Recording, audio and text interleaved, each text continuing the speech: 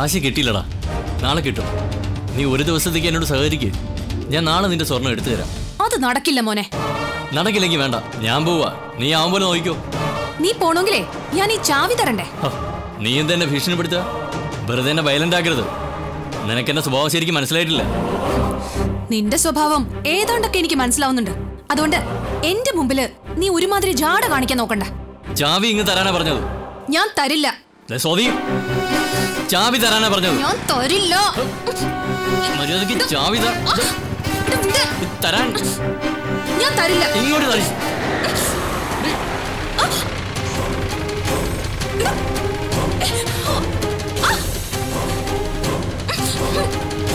ഇങ്ങോട്ട് തരാൻ. നീ അത് കണ്ടോ? ഞാൻ അവരോട് പറയണോ?